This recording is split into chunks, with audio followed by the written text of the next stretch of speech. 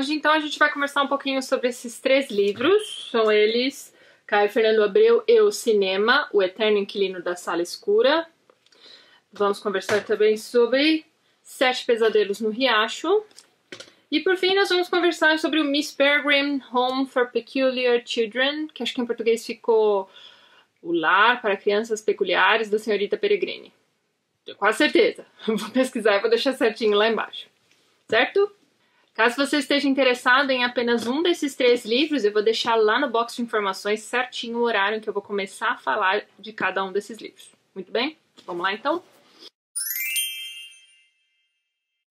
Bem, vou começar falando então sobre Caio Fernando Abreu e o cinema. Né? Este livro não é do Caio Fernando Abreu, ele foi escrito pelo Fabiano de Souza, tá? Então, esse livro aqui é o resultado de um trabalho extenso de pesquisa do autor desse livro sobre todas as referências cinematográficas dentro da obra do Caio Fernando Abreu, certo? Então, se você gosta de cinema, se você estuda cinema ou qualquer coisa do tipo, se você é um curioso, se você gosta do Caio Fernando Abreu, este livro é para você. E aí, eu primeiro preciso contar para vocês que eu sou uma leitora atípica de Caio Fernando Abreu. Eu comecei meio que pela contramão, assim, eu comecei lendo as cartas do Caio Fernando. Eu nunca li nenhuma novela dele, nenhum conto, nada, zero. Enfim, mas eu gosto bastante das cartas. E agora eu li esse livro aqui, então. Esse livro vai trazer pra gente, então, pequenos resumos de cada um dos contos dele e como o cinema foi inserido dentro desse conto, seja por meio de referências que o autor, né, o Caio Fernando, faz nos seus contos, como também a criação de cenas dele. Em alguns contos dele, ele chega a posicionar o leitor como se ele fosse realmente um câmera ou como se ele estivesse realmente numa sala de cinema acompanhando né, o movimento de câmera por volta dos personagens e é bem bacana mesmo, né? Então me deu uma vontade assim gigante de começar a ler o Caio. A Patrícia Pirota tem um vídeo muito bacana de um livro dele. Eu vou deixar o linkzinho aqui em cima para vocês ou lá embaixo no box de informações. Talvez eu comece por aquele livro. Mas enfim. Caso você seja como eu também, nunca leu nada do Caio, talvez esse livro aqui possa conter alguns spoilers, né? Visto que ele vai contar pra gente, né, pequenos resumos desses contos, como eu falei para vocês. Então, se você é como eu, que ainda não leu nada do Caio, e mas está interessado nesse livro, presta atenção aí. Tomara que você não se importe, né, com esses spoilers que o autor vai dar pra gente. Mas enfim, Caio era então aficionado por cinema, principalmente pelas grandes divas do cinema da década de 50. E ele não se limitava apenas ao cinema hollywoodiano, não. Ele gostava do cinema italiano, o cinema da novela vaga francesa, da novela vaga americana também. Algumas obras dele foram para o cinema, como por exemplo Por Onde Andará Dulce Veiga, né? Ele, inclusive ele ajudou no roteiro desse filme. E o autor do livro vai contar pra gente que a ideia de escrever esse livro, né, de fazer essa pesquisa, foi porque ele, né, ele é um cineasta também, né, o Fabiano, e ele notou que os estudantes de cinema têm usado como fonte, né, de inspiração a obra do Caio Fernando Abreu, isso já tem aí alguns anos, talvez décadas. E é um trabalho de pesquisa assim bem minucioso mesmo, bem detalhado. Gostei bastante. Tem alguns probleminhas na revisão do texto aqui, espero que eles resolvam isso para uma próxima edição. Uh, principalmente no nome da cidade, gente, que não é Notting Hill, é Notting Hill com dois T's. Pelo amor de Deus, o nome do filme é um lugar chamado Notting Hill. Enfim, apareceu aqui pelo menos umas duas vezes Notting Hill. Mas vamos lá. Mas enfim, é um livro muito bacana mesmo. Recomendo. Agora eu vou comentar com vocês sobre os Sete Pesadelos do Riacho, escrito pelo Glenn Addison. O Glenn é um autor iniciante, ele produziu esse livro aqui ele mesmo, né? Um, é um livro, como é que se diz? Independente, tá? E esse livro aqui vai trazer pra gente, então, como o próprio título sugere, sete contos sobre a cidade de Groaíras, que, é no, que fica no Ceará, e, gente, essa cidade aparentemente é bem medonha, porque, né, ele conta aqui pra gente, então, sete contos de horror, né? Alguns deles baseados em lendas urbanas dessa cidade mesmo. E alguns textos, assim, não me chamaram a atenção, mas tem pelo menos dois aqui que eu gostei bastante. Um deles é sobre aquela velha, né, lenda urbana do fantasma na beira da estrada pedindo carona ou assustando a população, enfim. Ele vai contar pra gente, ele vai trazer, inclusive, um facsímile de um jornal, né, sobre esses acontecimentos estranhos. E ele vai contar pra gente a história desse rapaz desaparecido e tal, e teoricamente é ele quem aparece ali na beira da estrada. E vários acidentes acontecem nessa curva da estrada onde esse fantasma aparece. Enfim, é, é um conto bem bacana. O outro que eu gostei também é sobre uma cartomante sinistra que se recusa a ler a mão de uma pessoa. Enfim, vários acontecimentos são desencadeados a partir dessa visita, né? Essa cartomante. Então é isso. Esse livro aqui ele tem um tom bem jovem adulto, então eu acredito que esse tipo de livro vai agradar quem gostou, por exemplo, do Descansa em Paz, Meu Amor, do Pedro Bandeira, que é sensacional, adoro aquele livro. Né? Esse aqui me lembrou, em alguns momentos, aquele livro do Pedro Bandeira. Os personagens são, assim, adolescentes, assim, de seus, sei lá, de 15 para cima, alguns são já jovens adultos mesmo, de 20 e poucos anos.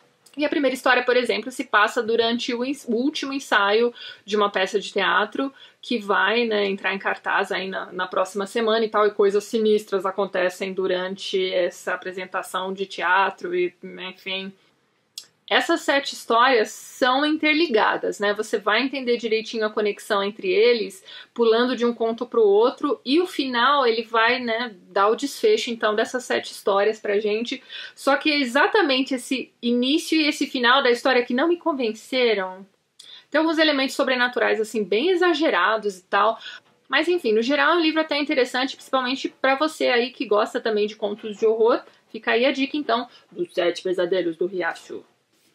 E se você mora em Groaíra, cuidado aí, viu? Porque realmente a cidade parece ser bem sinistra mesmo, viu? Por último, a gente vai conversar então sobre o livro da Miss Peregrine, né? Miss Peregrine's Home for Peculiar Children. Primeiro eu preciso contar para vocês que este livro me enganou. Sim, eu sabia que ele era um IA. Eu comprei esse livro bem na época em que ele foi lançado e tal. Eu comprei em loja física, então eu pude folhear o livro. Assim, Primeiro, essa capa aqui, que já me chamou atenção com certeza, né? Dá uma olhada ali, dá pra ver a garotinha flutuando. E aqui na contracapa também tem umas fotos sensacionais. Essa aqui é que eu achei mais legal de todas. Tomara que esteja focando, não tenho certeza. Mas tem uma garotinha aqui e o reflexo de duas garotinhas no riozinho. É bem sinistro esse negócio. Enfim, aí o que acontece? Quando começa a aparecer aí algumas resenhas ou alguns vídeos sobre algum livro que eu esteja interessado, eu não assisto, eu guardo para assistir depois e tal. Tô mostrando aqui algumas ilustrações enquanto eu falo, tá? E então eu não sabia exatamente do que se tratava esse livro. Pelo título e pela capa, esse livro me remeteu aos filmes de terror espanhóis sobre orfanatos, que são espetaculares. Olha, qualquer filme espanhol de orfanato que você ficar sabendo, pode assistir, porque com certeza vai ser bom. Tem dois que são, assim, os meus preferidos. É, os dois, se eu não me engano, são do Guilherme Del Toro. O só o primeiro é dirigido por ele e o segundo é produzido por ele. Tá, o que é dirigido por ele é o Espinhaço del Diablo, o Espinho do Diabo, se eu não me engano, que é uma história assim que se passa na, no período da Segunda Guerra Mundial, as crianças estão sendo levadas para orfanatos enquanto os pais estão indo ou fugindo da guerra ou indo para a guerra, né, no caso dos homens. E aí coisas sinistras acontecem nesse orfanato, mas tem a ver assim com assombrações, né? E tem também aquele outro filme que se chama Orfanato, que é um filme lindo, assim, é terror, é medonho. Tem uma cena ali dos fantasminhas brincando de pega-pega que, meu Deus do céu, eu me escondo embaixo da cama, se eu puder, na hora dessa cena. Mas enfim, eu acho aquele filme um espetáculo também. E enfim, quando eu peguei esse livro, eu achei que a pegada fosse ser essa, né? Mas não, vou tentar contar aqui rapidão a história para quem não conhece. Esse livro vai contar a história de um senhorzinho de idade, já um avô, que quando criança foi, né, morar no lar da senhorita Peregrine. E vira e mexe, esse avôzinho conta pro seu netinho as histórias do que se passava nesse orfanato, né? Ele tem uma caixa de fotografias sinistras, né, como essas aqui da contracapa, e vai mostrando sempre pro neto, vai contando as histórias por trás das fotografias. Só que o avô realmente acredita nas histórias, né? Então ele realmente acredita que essa menina aqui flutuava, o outro tinha superpoderes, e aí vai, né? Vai contando essas histórias pro garoto. Até que um dia esse avôzinho já tá tão velhinho, tão esclerosado que, né, enfim, ele começa a dizer para esse neto que ele tem visto monstros e coisas do tipo. E aí um belo dia esse avô é encontrado morto, né, enfim, de um jeito horroroso lá, e no dia que o neto encontra o corpo do avô, ele acha que ele viu o tal do monstro. Tem tudo bem, né? Pois é, o problema é o que vai acontecer depois disso. Ele convence o pai a levá-lo para esse orfanato, né, para que ele possa investigar e descobrir se essas coisas realmente aconteceram ou não no lar da senhorita Peregrine. E aí ele entra num vórtice de tempo, num loop infinito, enfim, sei lá, ele vai parar no passado, exatamente no lar da senhorita Peregrine, e aí ele descobre na verdade, não é o passado, é o loop, né? Infinito, né? Aquele dia se repete sempre na vida daquelas crianças que estão naquele orfanato, e enfim, ele vai parar lá. E aí ele descobre que a senhorita Peregrine, ela é a protetora, né, desse orfanato, mas não somente isso, ela se transforma em pássaro para ajudar essas crianças. E existe uma ameaça que a gente não sabe muito bem de onde vem, mas a hora que a gente descobre quem é o vilão da história, você fala, ai, é isso mesmo, sabe? Então, assim, ele vai viver altas aventuras nesse loop infinito aí, nessas crianças revivendo sempre esse dia e ele consegue de uma forma X voltar para o presente, ficar lá com o pai dele durante a noite, e aí ele volta para o lar da senhorita Peregrine, vive mais algumas altas aventuras, salva o dia, né? Tem aquele embate ali com o vilão da história. Não vou contar o desfecho, mas é absurdo demais, assim, até para mim. Então, assim, eu me lembro que quando eu coloquei a foto desse livro no Facebook, eu já tinha dito que eu não tinha gostado, uma pessoa deixou uma mensagem assim: ah, não é novidade que ela não vai gostar de YA, né? Mas, gente, eu gosto pra caramba de YA. Tem muita coisa de YA que eu gosto. Então, este aqui realmente não rolou, né? Eu sei lá, eu não comprei essa história. Eu acho que o, os primeiros capítulos são bacanas, mas o desenrolar da história e para onde ela vai não é legal. A premissa é bacana, né? Essa história contada a partir dessas fotos, que dizem que são fotos genuínas, né? Enfim, hum, não sei até que ponto isso é verdade. Mas a execução da ideia não ficou legal. Pra mim, pelo menos. Eu sei que tem um monte de gente que gosta e é isso aí, gente. Gosto é gosto, né? Cada um com o seu e vamos lá. Aí tem um detalhe. Sim, este livro é YA, mas tem uns comentários aqui, gente. Eu vou dizer para vocês qual é o capítulo. Se você tiver esse livro em português aí, eu queria conferir com vocês como ficou a tradução disso. Tá no capítulo 2. A mãe do garoto está fazendo um comentário para ele e pro amigo dele. O comentário que a mãe faz é o seguinte: Do I look like I blow truckers for food stamps? Não, eu não vou colocar a tradução desse negócio porque pode ter criança assistindo, tá? Mas eu vou deixar escrito aqui na tela, vou deixar escrito lá embaixo também. Gente, isso é coisa que se diga no livro YA? O mundo tá moderno desse jeito? Então, assim, isso aqui me assustou, me deixou na dúvida. Será que é YA mesmo esse negócio? E tem vários outros comentários desse tipo, sabe? Tanto da mãe do garoto como do garoto mesmo. E, sabe, eu achei assim meio too much, né? Mas enfim. Depois vocês me digam nos comentários, por favor, como é que ficou a tradução desse trechinho. Mas tá, como meu livro está em perfeito estado, eu coloquei esse livro no giveaway que eu deixei no canal desde o domingo passado. Eu vou deixar o link pro giveaway lá embaixo, é um sorteio, né, de, de desapegos, digamos assim.